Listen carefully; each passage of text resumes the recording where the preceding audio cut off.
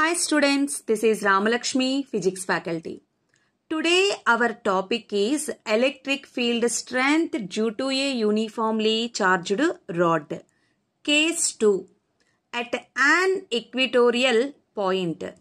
We want to find out intensity of electric field at a point P on the equatorial line of a uniformly charged rod. Okay, let us start our topic. Consider a rod of length L. This rod length is L and Q amount of charge is distributed uniformly on over the length of this rod. Charge is distributed uniformly. So charge per unit length lambda is equals to Q by L. Here this charge is distributed continuously. For continuous charge distribution, Coulomb's law is not applicable. Coulomb's law is applicable only for the point charges. So that's why let us take a smallest element on this rod. Length of this smallest element d x and a charge on this smallest element d q.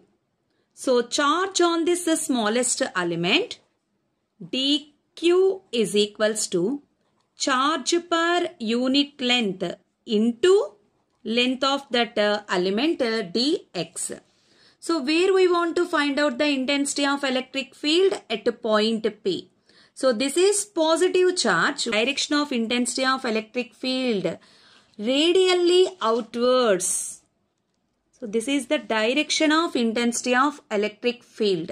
This electric field line make an angle theta with the equatorial line.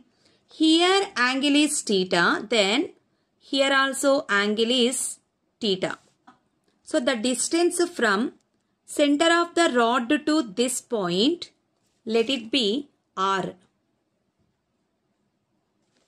And from center of the rod to the element, let it be x. So now from this element to point P, this length is, so this is look like right angle triangle, then this length becomes to square root of r square plus x square. So, intensity of electric field produced at the point P due to the smallest element dE is equals to 1 by 4 pi epsilon naught into dq by square root of r square plus x square whole square. And now here square and root get cancelled that is equals to 1 by 4 pi epsilon naught in place of dq substitute this one q by l into dx by r square plus x square. So this is the intensity of electric field at point P due to the smallest element. But we want the total intensity of electric field produced by the rod. So once observe the diagram here. Here intensity of electric field make an angle theta with the equatorial line. Then the component of intensity of electric field along this direction dE cos theta and along this direction dE sin theta. Here charge is distributed uniformly. Maybe when we take the symmetrical element at this side also, then this element also produces intensity of electric field along this direction. Then the component along this direction is dE sin theta and in upward direction is dE cos theta dE sin theta and this side also dE sin theta. So these two components equal in magnitude and opposite in direction so get cancelled with each other. So the resultant intensity of electric field is produced only because of the component dE cos theta. Maybe this point is located at the center. So left side negative x-axis, right side positive x-axis.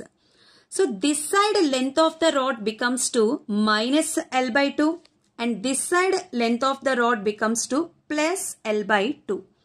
So take the integration then it gives the net intensity of electric field. So intensity of electric field at the point P is equals to integral and limits are from minus L by 2 to plus L by 2 1 by 4 pi epsilon naught into q by L dx by r square plus x square. Here the resultant intensity is produced only because of the component of dE cos theta. So take this one dE cos theta. Here also cos theta. So now here cos theta. So from the diagram cos theta is equals to. So here adjacent side is R hypotenuse is square root of r square plus x square. So cos theta is equals to r by square root of r square plus x square. And from this sine theta is equals to, so this length is x. So sine theta is equals to x by square root of r square plus x square. And from this tan theta is equals to x by r. And from this, x is equals to r tan theta. So differentiate on both sides with respect to theta. Then dx by d theta is equals to r into d by d theta of tan theta. So differentiation of tan theta is secant square theta. r into secant square theta then dx is equals to r secant square theta into d theta. So, now in this part. 1 by 4 pi epsilon naught is a constant. Q by l also constant right out of the integration. 1 by 4 pi epsilon naught into q by l integral minus L by 2 plus L by 2. In place of dx, substitute this one r into secant square theta d theta 1 by r square plus x square. In place of cos theta, r by square root of r square plus x square into in place of dx r secant square theta into d theta. And now 1 by 4 pi epsilon naught q by L integral minus L by 2 to plus L by 2. So once uh, check here R also constant here. So Q R r square plus x square into r square plus x square whole power 1 by 2 it becomes secant square theta by r square plus x square whole power 3 by 2 into d theta. And we know x by r is equals to tan theta. And from this x is equals to r tan theta. And here r square plus x square is there. So in this place find out r square plus x square is equals to r square plus in place of x square r square tan square theta. Take r square common r square into 1 plus tan square theta. 1 plus tan square theta is equals to secant square theta. So r square into secant square theta. So r square plus x square is equals to r square into secant square theta. So now substitute here 1 by 4 pi epsilon naught q r by L integral minus L by 2 to plus L by 2 secant square theta by r square plus x square plus r square secant square theta. r square secant square theta whole power 3 by 2 into t theta. So now that is equals to 1 by 4 pi epsilon naught q r by L integral minus L by 2 to plus L by 2 secant square theta by r square whole power 3 by 2 becomes to r cube. Secant square theta whole power 3 by 2 becomes to secant cube theta into d theta. For r is there. R so now simplify here. r into r, r square and denominator r cube is there. So that is equals to 1 by 4 pi epsilon naught q by L. Here r square by r cube. So only 1 r is remaining. Integral minus L by 2 plus L by 2. 1 by secant theta becomes to cos theta d theta. So that is equals to 1 by 4 pi epsilon naught q by L or integral cos theta is equals to sin theta sin theta and the limits from minus L by 2 to plus L by 2.